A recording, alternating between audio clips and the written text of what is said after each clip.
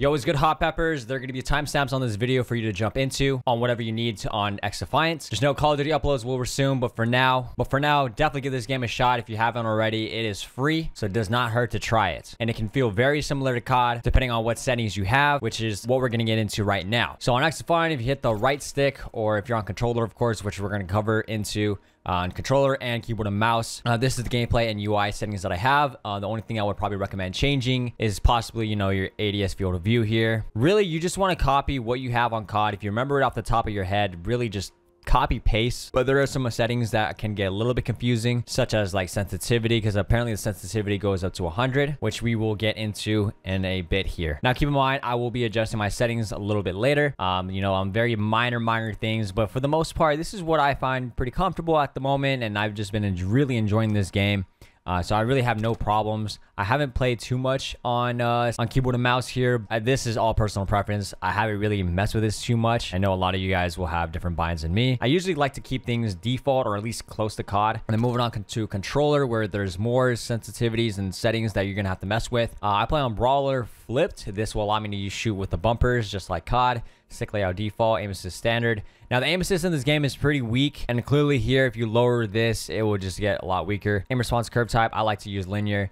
My sensitivity, however, for whatever reason, I dropped it down like about 10. Um, technically, it's supposed to be at 85 because my sensitivity I like to rock with is uh, 17, 17 on COD. So again, 17 times 5, that's about 85, right? But I just dropped it down to 10 uh, just because for whatever reason, my shot just feels more accurate with uh, just doing that. ADS sense multiplier and uh, for low zoom and high zoom, both at 0.70. I find that's a sweet spot for me. You can drop it down to 0.60 if needed, but again, 0.70, just whatever reason, just works best. Left stick at 70, dead zone right stick on 5. Um, I did not mess with the acceleration multiplier with that and had that off. So, oops, didn't mean to do that. And then the audio, I don't think you guys really care too much. I like my music low. I, I, I don't care too much about the, the music stuff. Uh, you can copy this. And then far as video and graphics, I might have a few settings wrong here, but for the most part, I've been getting like literally way over 200 frames in game. If any settings that you guys find that I have wrong here, please by all means correct me. But again, um, this is more for a how to snipe video and just get the small little details of, you know, how to make sniping better. Uh, I'm definitely probably going to lower this, these settings. I don't know. I kind of like the, the graphics in this game. It's pretty good. It did a really good job. Um, again, if there's anything you guys recommend, feel free to let me know. And then the language and accessibility, um, I did not change any of this. I feel like everything's good on my end. And uh, yeah. All right, now moving on to the loadout, which a lot of you guys are curious on what kind of attachments I use. So the TAC 50, in my opinion, is the absolute meta weapon of this game. Uh, if you click on the sniper right here, there is five attachments you can rock, just like COD, man. I have this maxed out. Level 30 is pretty much the level to get all the attachments unlocked. Now, these are the attachments I'm using. Now, if you're leveling this up, we're going to go over what attachments to use first, or what's which one's the most important one.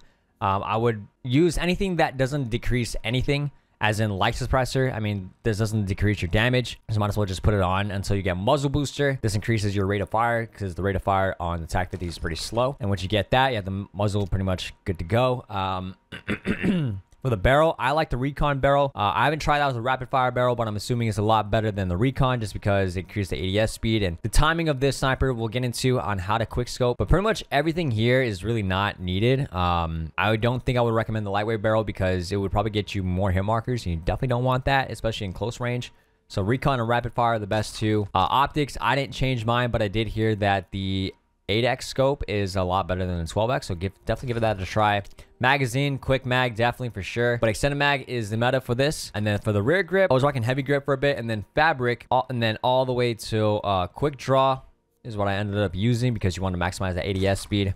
Uh, I did use stock for a little bit. The only stock I would recommend is the padded stock if you don't have anything else unlocked, just because it doesn't take away anything else. It just increases your recoil, stability, and flinch. Secondary doesn't matter. Try to get the MP grenade to be able to counter the shields. And then for the M44, I'm still trying to level this up. Uh, so we'll definitely make like a class setup video for this. And then now moving on to the faction, I don't use cleaners or phantoms. Libertad sometimes. Echelon, in my opinion, is the absolute best. If you look at the faction ability here. Intel suit, you, it's like literally having walls. It, it's pretty, uh, it's pretty overpowered, and a little bit of a radar as well. Or if you use Libertad to be able to use a like a healing option. Uh, so those two, if, if you're going for Simon Clips, definitely recommend that. All right, so when it comes to sniping on this game, you want to make sure you center your shots. You don't want to drag your shots. The more you drag, the less your shots will land. Let me see if I can give you guys an example here.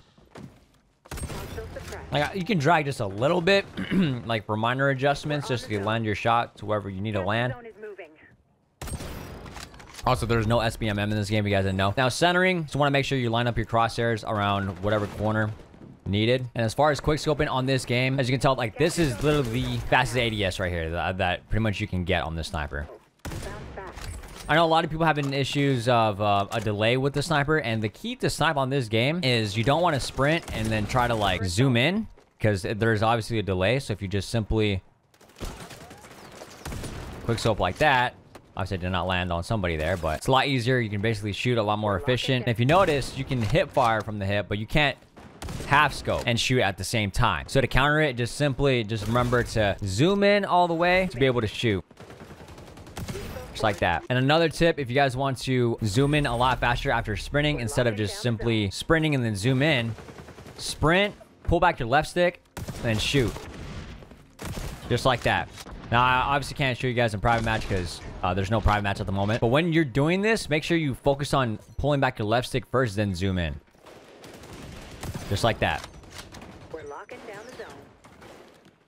See how much slower that one is? And the last thing, uh, movement on this game. It's kind of weird, but you can slide cancel, but instead of slide canceling, you're just slide jump, slide jump. Uh, that's the movement I find that like a lot of people are doing at the moment. But when you slide jump, you can move left and right to be able to dodge them. It's, apparently, it's a lot easier on keyboard and mouse than it is on controller. So just simply keep that in mind. Also, one other thing I did forget to mention is that you're not able to go prone in this game. You're able to crouch. So it's a little bit weird, but at least you don't have to deal with drop shotters.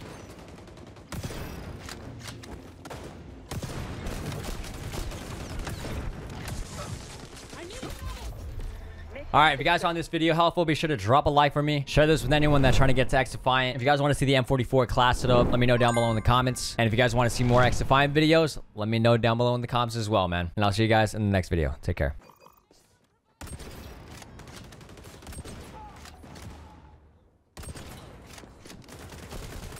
That's a quad head. That's a quad head, chat. Let's go. Perfect. I want to definitely understand like the movement in this game. Ooh, that wait, that's a collat? How the fuck? That even lined up, bro. There's a three. Oh, there's a four. There's a split quad feed. Let me go, bro. Got this shit. Don't play with me. The split. The streak. Love this bitch.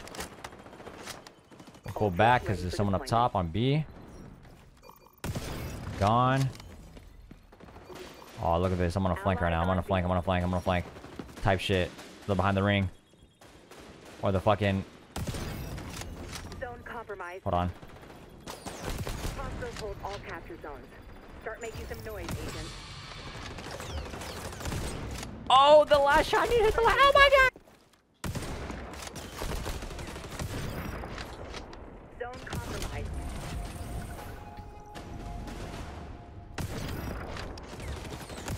I think we all That's how it's done. You have to aim ahead on this game? Shouldn't have to. Oh, quick watch feed. Let's go.